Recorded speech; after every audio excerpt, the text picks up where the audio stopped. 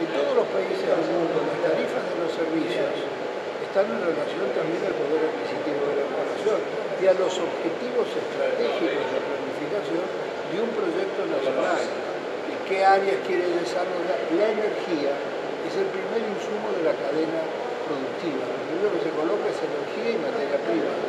Piensen ustedes que desde el año 16 ha habido 1.600% de aumento en la tarifa eléctrica.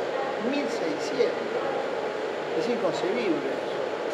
Este, por supuesto que las tarifas, las tarifas energéticas en la Argentina estaban atrasadas, sí, podemos decir que estaban un poco atrasadas, pero siempre tiene, hay que medirlas en relación al poder adquisitivo.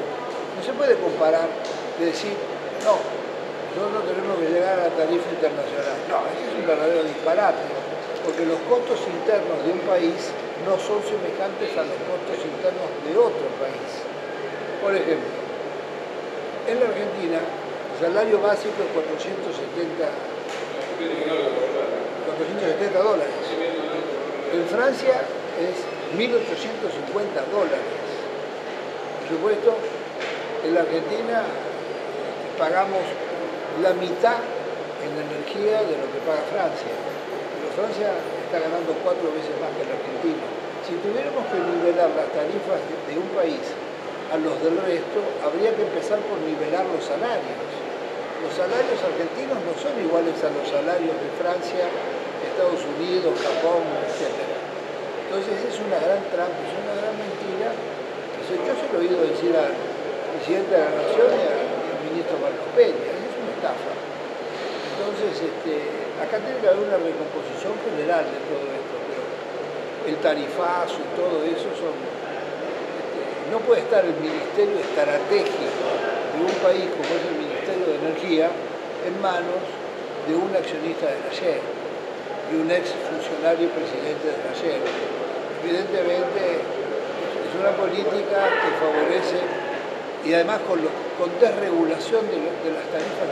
los combustibles. Es el mercado quien dirige, quien dirige el estratégico sector de la energía de un país de la cual depende también, forma parte esencial, es el primero que forma parte en, el costo industrial.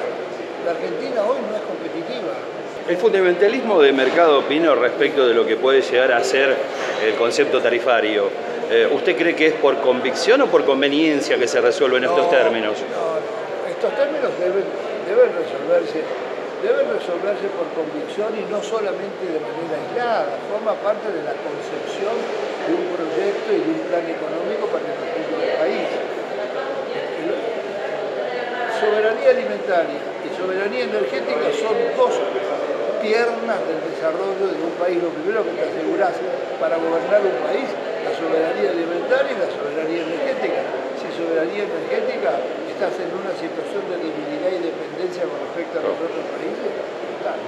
usted dijo la semana pasada que debía renunciar Dujovne, Caputo y Aranguren. ¿Sigue sosteniéndolo, opinión? Sí, me quedé corto, mucho debería renunciar. Pero pueden decir que uno está en actitudes destituyentes. No, la verdad es, es una falta de respeto a la nación argentina, al pueblo argentino, las afirmaciones de estos ministros queriendo defender que tienen sus fortunas personales fuera del país porque no tienen confianza en la Argentina, cuando ellos, nosotros les pagamos a ellos para que sean generadores de confianza en el país.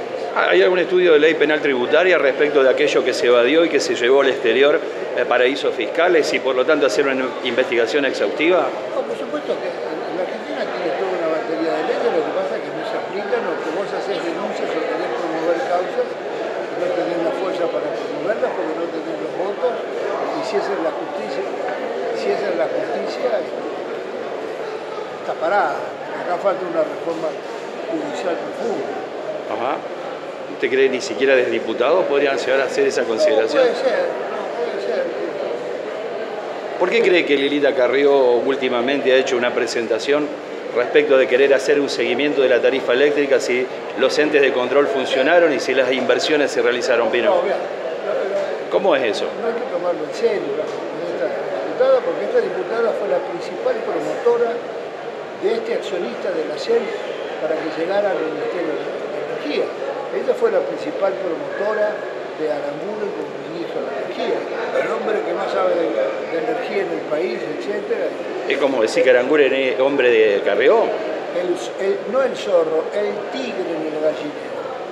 Forma parte de la misma idea o del mismo proyecto, te puedo decir, yo no le he preguntado, habría que preguntarle a ella. No, forma parte de la misma idea de concepción. Acá se está apoyando un gobierno de CEOs, de grandes gerentes que vienen de presidir los, grandes grupos económicos de Argentina y extranjeros. Entonces, es un problema de concepción. ¿La política se termina cuando los CEOs se van, ¿no?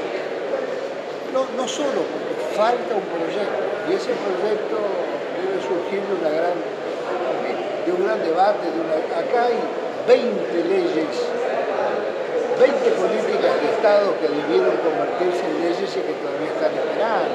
Entonces, falta todo eso, falta debatir un gran proyecto.